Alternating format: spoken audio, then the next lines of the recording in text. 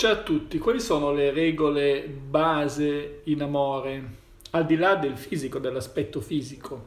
Eh, ci sono delle false credenze, molte persone credono che soltanto le persone giudicate esteticamente belle possano far innamorare chi desiderano o chi vogliono.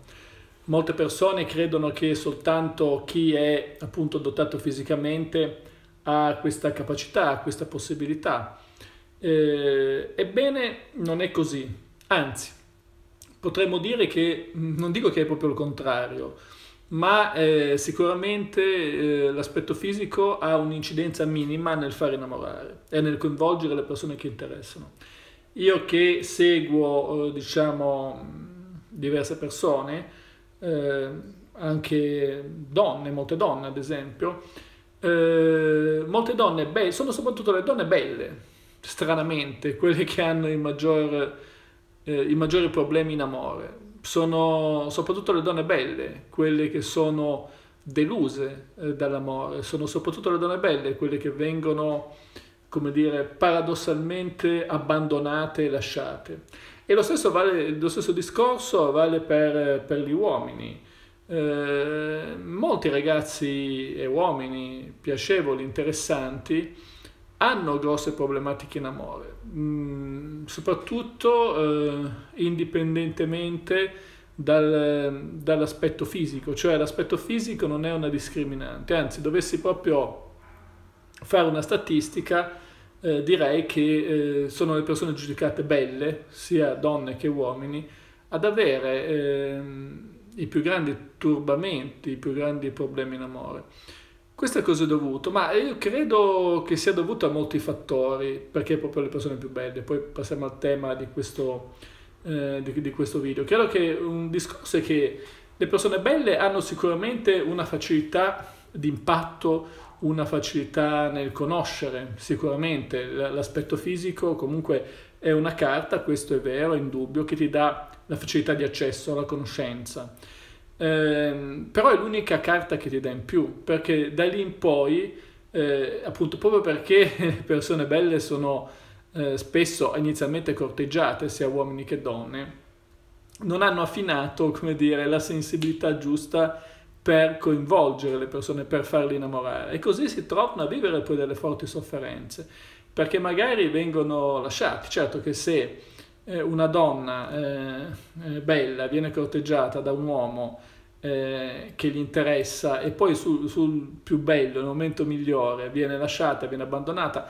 non tanto perché magari questo va con un'altra ancora più bella, ma perché proprio non, eh, non vede più coinvolgimento, la, diventa paradossalmente come se fosse una sorella.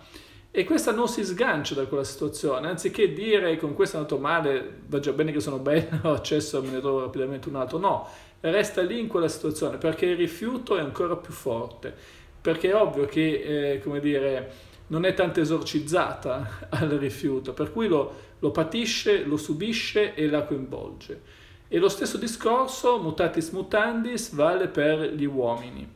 Eh, ecco quindi che quali sono le regole base dell'amore. La prima regola è che la bellezza non conta, perché eh, qual è il, il, difetto, il problema dei brutti, diciamo così, quelli che non sono belli?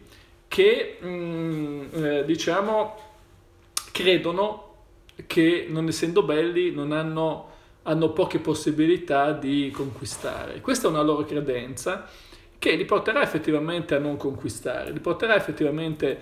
E, mm, però la sofferenza la, la vivono in modo diverso perché diciamo, sono, so, essendo abituati, tra virgolette, essendo che la loro parte emotiva ha fatto abbastanza il pieno di rifiuto, di abbandono, dopo un po' si satura e paradossalmente patiscono, patiscono di meno, ma eh, conquistano poco anche loro perché non sono in grado di eh, capire, non hanno capito quali sono le regole base dell'innamoramento, quali sono le, le regole base della conquista. E, credendosi brutti si costruiscono delle eh, diciamo, credenze negative e allora eh, non riescono poi a ottenere i risultati che vorrebbero. Quindi alla fine, belli o brutti, in amore si soffre tutti, potrebbe essere un, uh, un detto, ma soffre soltanto chi non conosce le regole eh, e chi non eh, diciamo, si è costruito eh, attraverso un proprio percorso personale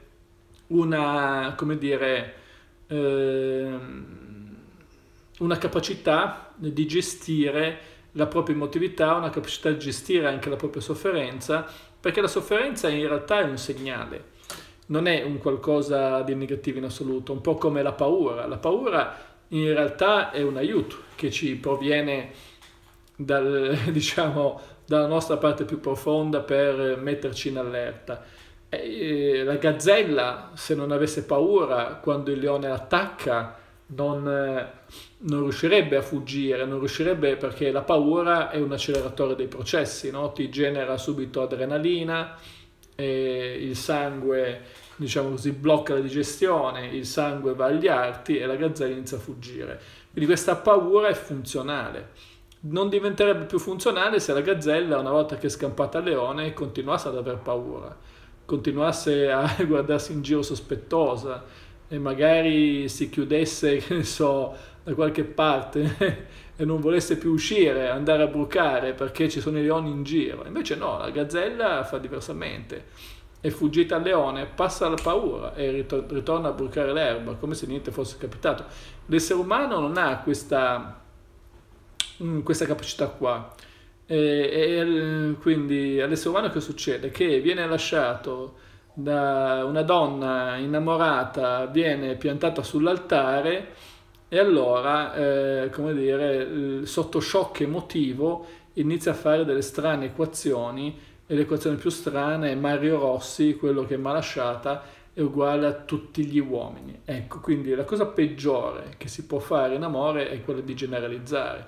Perché nel momento che generalizzi, è come dire, se Mario Rossi è uguale a tutti gli uomini, Mario Rossi è quello che mi ha lasciato, mi ha tradito, mi ha cronificato, vuol dire che nessun uomo vale la pena e tanto vale, che ne so, fare la mignotta e andare con tutti, ad esempio. Oppure viceversa, tanto vale farsi suora e non darla più a nessuno ma sono entrambe scelte sbagliate, perché la generalizzazione in amore è la cosa peggiore che possiamo fare, eppure tutti la fanno. Quindi regola, prima regola in amore, non generalizzare, smetti di generalizzare perché la generazione è sbagliata dappertutto. In amore è ancora peggio, perché non, ha, eh, non c'è motivo, veramente non c'è motivo di generalizzare non c'è motivo di credere che una persona sia uguale a tutte le altre, anzi, spesso eh, ci sono delle grosse differenze, solo che tu le differenze non le vedi. E poi la seconda regola in amore è che quello che ti succede, quello che ti capita, è perché tu te lo sei cercato.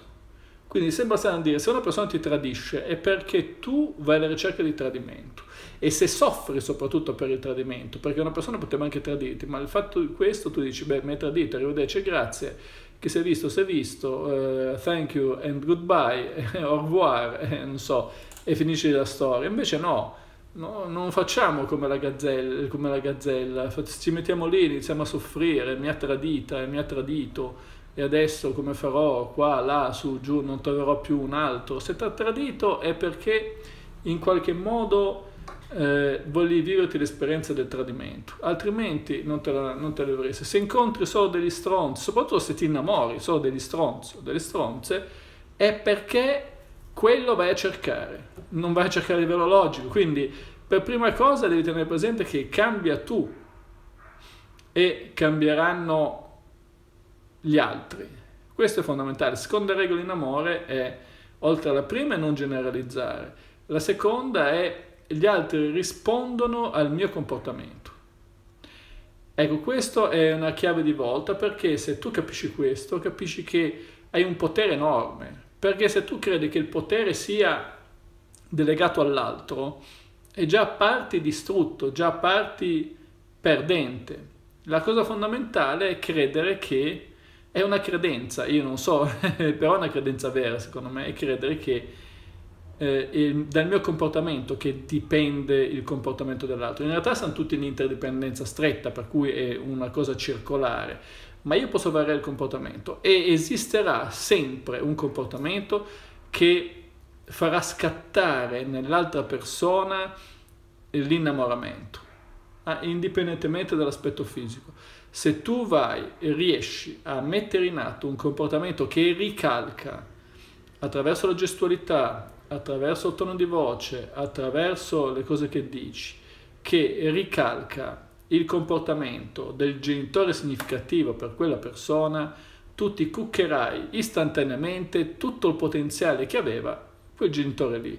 Puoi essere, eh, un genitore, un bambino lo ama lo stesso, non è che dice con un bambino piccolo, no, mia madre è un cesso, no, allora non l'amo, mio padre è un rospo, allora non lo amo.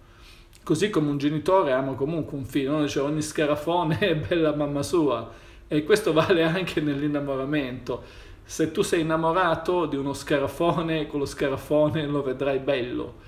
E, ma non è che lo vedrai bello perché è bello, lo vedrai bello perché sei innamorato o innamorata. Quindi, e non è che se è bello ti innamori, ecco, non è un processo reciproco, è un processo univoco, funziona in un'unica direzione. Se è bello avrà il vantaggio che avrà più accesso, diciamo, a farsi conoscere, è ovvio eh, poi, diciamo la verità, mostri di Loch Ness in giro ce ne sono pochi, cioè, vabbè, ci sono, voglio dire, eh, ma non, però non importa, ci sono anche persone con gra- gravi handicap fisici che magari agganciano nel modo giusto, cioè è, è più l'emozione che riesce a trasmettere. Poi agganciano anche magari naturalmente persone che hanno sindrome da croce rossina, che si agganciano su persone problematiche, questo è anche da dire, no? Se uno poi... Però noi possiamo quindi tutti possono istintivamente insomma, trovare qualcuno, però quello che voglio dire è che eh, in amore è una scienza, oltre che potremmo dire l'arte dell'amore o, eh, è una scienza e noi possiamo utilizzare questa, queste regole per sparare le nuvole e far piovere quando noi vogliamo che piova, quindi far innamorare quando noi vogliamo che l'altra persona si innamori. Quindi la regola, la regola, è che dal nostro comportamento dipende la, se seduciamo o se non seduciamo. Quindi, cosa fondamentale è fare dei test, variare il proprio comportamento.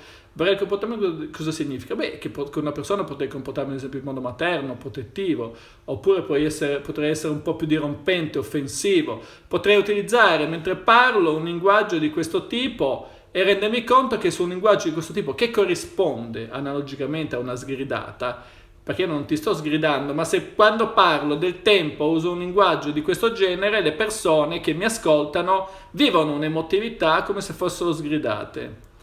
Alcune si agganciano, altre non si agganciano. Eh, ecco, qua mi dice la teoria la costo Elena, Elena Napoli, la teoria la, la conosco bene, ma non riesco a mettere in pratica. Eh beh, certo, perché non si riesce, questo qui è la parte dopo, perché non si riesce a mettere in pratica? Quindi il tuo comportamento, se tu lo vari, se hai la forza di variarlo, riuscirai a sedurre e riuscirai a coinvolgere. Perché non riesci a farlo? Perché sei pilotato dai tuoi problemi. Quindi questo per rispondere a Elena di Napoli che mi scrive, eh, la categoria la conosco bene ma riesco a mettere in pratica. Perché i tuoi problemi ti governano. E i tuoi problemi dovresti imparare a farli diventare una supposta e infilartela su per eh, diciamo, il luogo dove si infilano le supposte, significa che i tuoi problemi devi eliminarli, altrimenti eh, per legge d'attrazione attrarrai chi amplifica i tuoi problemi. Per legge d'attrazione attrarrai chi amplifica le tue paure, perché vedrai il mondo come una lente di ingrandimento delle tue paure, delle tue insicurezze, delle tue debolezze. E questa lente di ingrandimento sarà quella che ti farà percepire gli eventi e ti farà vivere appunto delle situazioni di sofferenza. Eh, una persona mi dice a me fai solo incazzare se alzi la voce, e eh beh dipende, eh, certo eh, io adesso sto parlando in questo modo, però potrei anche parlare in questo modo. E mh, questo modo invece, questo tono di voce è molto più rassicurante e eh, è un po' come dire la coccola che la mamma fa al bambino a livello di paralinguistica eh, ci sono persone che si agganciano, persone che non si agganciano. Quindi eh, è ovvio che se tu hai a che fare con tante persone, ad esempio conviene fare due passate di vernice, una di un tipo e l'altra dell'altro tipo. Eh, però eh, è anche il comportamento poi, quanto devo tenerti sulle spine, che grado di disponibilità devo darti. Che grado di disponibilità devo darti? Ognuno di noi si, si aggancia su un certo grado di disponibilità Può essere, ci sono persone che si agganciano su una disponibilità al 10%, ad esempio, perché quello mi vissuto da bambini. Allora cosa vuol dire? Che sul mio 100% di tempo che posso dedicare a te, ti tengo agganciata se te ne dedico 10 e se l'altro 90% del tempo mi faccio gli affaracci miei, come dire, e ti dico non voglio vederti, non mi stare sulle scatole, levati dai piedi. Cioè, sono persone che le seduci in questo modo, uno dice ma non è possibile, eppure è possibile, ci sono persone che le seduci in questo modo. Altre persone che invece hanno bisogno proprio di una coccola, una, un senso di protezione, il dirgli tu sei la solita scema, ma non ti preoccupare, ci sono qua io che faccio le cose al posto tuo. E dice, eh, ma eh, sì, altre si agganciano in questo modo, quindi verranno a tuo compagno. Perché se tu ogni volta che sei coinvolto, e quindi qui si ritorna al discorso di, di piacere e sofferenza, inizi tu a stravolgere la capacità di vedere il mondo, eh, inizi tu a, eh, diciamo, a fare le cose sbagliate, perché nel momento in cui uno è coinvolto, nel momento in cui uno è innamorato, eh, tende a fare sempre le cose sbagliate fondamentalmente. E quindi ci deve essere un meccanismo dentro di te che ti permette di renderti conto e quindi qua torniamo all'utilizzo consapevole dei meccanismi di difesa. In amore devi utilizzare un'altra regola, consapevolmente il meccanismo di difesa. Il meccanismo di difesa non vuol dire, siccome le donne sono tutte traditrici, non vado con nessuna, oppure vado con tutte e me ne fotto. Il meccanismo di difesa vuol dire è la capacità di saper gestire la propria emotività e capire quando sto canalizzando l'emotività su una persona, cioè sono io che, eh, sono io che eh, decido eh, quando coinvolgermi e quando no, perché io sono padrone delle mie emozioni. E se decido di decoinvolgermi mi decoinvolgo seduta stante. Eh, e abbiamo questa capacità noi perché come la parte emotiva ci può far venire le magagne, cioè una persona si becca una fobia da un giorno all'altro, così la parte emotiva ti può far decoinvolgere o coinvolgere da un giorno all'altro, ma questo interruttore devi imparare a schiacciarlo tu quando desideri, perché se l'interruttore si schiaccia da solo, allora, eh, come dire, ce n'hai già 20 cm dietro, se non di più. E questa è una cosa fondamentale, quindi regola, questa regola dell'amore è una regola basilare. Ovviamente l'altra regola dell'amore è che non si deve mai chiedere, perché nel momento in cui tu chiedi ti metti in condizione di essere, come dire, peggio di Fantozzi davanti al direttore generale, Loopman, Field Put, è uguale e non devi mai chiedere, devi offrire tu seduci se devi diventare uno spacciatore, soltanto che anziché spacciare eh, droga, spacci emozioni. E le persone che vuoi fare innamorare devono diventare i tossici, i tossicodipendenti di emozioni. Questo è eh, diciamo un qualcosa... Ah, intanto saluto Pink Power alias Dominique che ha vinto il corso gratuito che mi ha scritto su WhatsApp, per cui beh, poi farò un video per dire che comunque è certificato che Pink Power ha vinto un corso. E, ehm, ecco, quindi eh, in, questo, in questo modo noi dobbiamo eh, capire che gestire la propria emotività significa eh, venire a patti con, eh, con, se stessi, con quella parte più profonda e quindi dargli dei contentini, dargli delle polpettine, dargli eh, emozioni, insomma, a noi stessi. Dobbiamo imparare a sedurre noi stessi. La persona fondamentale da sedurre è veramente la nostra parte emotiva, perché se, se seduci la tua parte emotiva avrai, sed, avrai tutte le possibilità di decidere quando innamorarti e quando no. E nel momento in cui soffri avrai la possibilità di disinnamorarti perché dentro di te avrai un alleato, come dire, come entrare nella stanza dei bottoni e iniziare a premerli, i bottoni giusti. E come fare a fare tutto questo? Ebbene, questo è un processo di eh, consapevolezza di se stessi che va fatto, è un processo di eh, iniziare a mm, eh, regalarsi delle emozioni. Ci sono anche degli atti proprio detti atti rituali, atti cerimoniali che ci permettono di fare, eh, o atti psicomagici, fare delle cose che ci diano forte emotività in modo deliberato e consapevole, pur ad esempio somministrandosi eh, il rifiuto, ho paura del rifiuto, bene, me lo procuro io, non c'è problema che è la parte emotiva, ti do una, una valanga di rifiuto, me ne vado al primo centro commerciale che trovo, ci provo a nastro con tutte, a dire le, le, cose, le prime cose che mi vengono in mente, ma non con l'obiettivo di conquistarle, con l'obiettivo di farmi mandare a cagare, perché ogni volta che mi manda a cagare io godo come un riccio, perché la mia parte emotiva si fa un bel pieno di emozioni. Vuol dire ribaltare completamente la situazione. Ogni volta che mi abbandono io dico ah che bello, oggi mi ha abbandonato, adesso posso godermi finalmente questo pathos che viene fuori. Anzi, guarda, domani mi faccio riabbandonare di nuovo, così mi ribecco altre emozioni. E tu ora prova a ragionare in questo modo, vedi che la tua parte emotiva dopo un po' non ti farà più abbandonare da nessuno, anzi si appiccicheranno a te come dicono in Liguria, come le piattelle, che sono quelle specie di, di cozze lì un po' più piccole, come le piattelle si attaccano agli scogli. Eh, ecco, dice, provaci Francesca con i commessi di Auchan, vai lì, ci provi con tutti e magari questi poi ci stanno, però voglio dire nel momento in cui ci stanno li mandi a cagare tu, così continui a viverti il rifiuto e, ed è la cosa migliore. E quindi a quel punto lì stravolgi il tutto, ogni cosa negativa diventa subito positiva. Ti ha abbandonato, beh, veramente sono proprio contento di questo abbandono che mi sta dando questa emotività. E vedrai che la tua parte emotiva capisce subito che, eh, capisce subito che, come dire, eh, da te puppe emozioni e non vorrà più perderti, non vorrà più assolutamente perderti e ti aiuterà a raggiungere i tuoi obiettivi, perché dove lo trova un altro che gli dà tutte quelle emozioni lì? Quindi il processo di seduzione verso se stessi è la cosa più importante che noi possiamo fare. E quindi questa è un'altra regola fondamentale dell'amore, quindi l'amore è una scienza, non è un'arte, è proprio una scienza, noi possiamo studiare nei micro dettagli.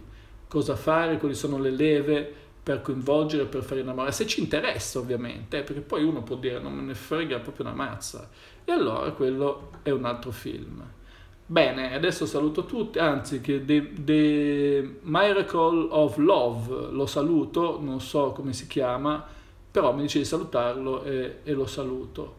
Eh, e quindi detto questo vi dico di iscrivervi al canale perché oltre alle altre estrazioni dei videocorsi ci saranno eh, a 40.000 iscritti le estrazioni di 10 sessioni gratuite di riequilibrio emozionale con me quindi iscrivetevi al canale. Ciao a tutti